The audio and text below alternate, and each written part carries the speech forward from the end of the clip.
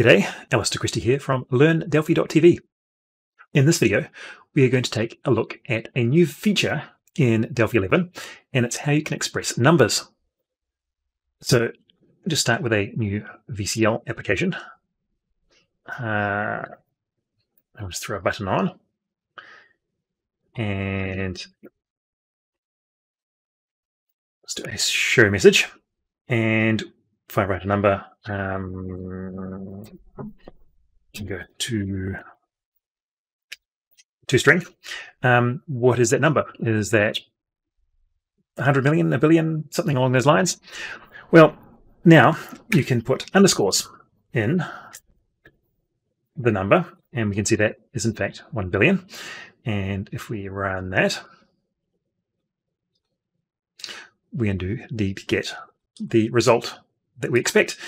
And basically, these these underscores are ignored. So if I put uh, an extra zero in there, they'll run just fine, and it becomes uh, 10 billion.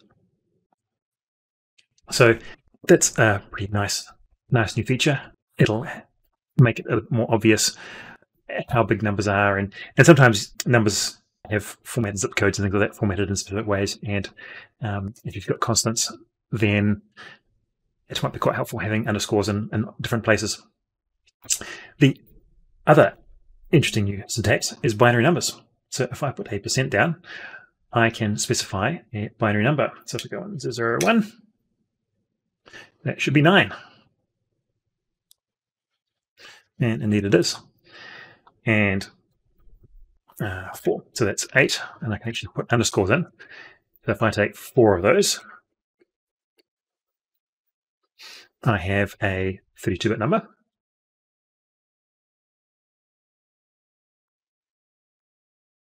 And if I have eight of them, I have a 64-bit number.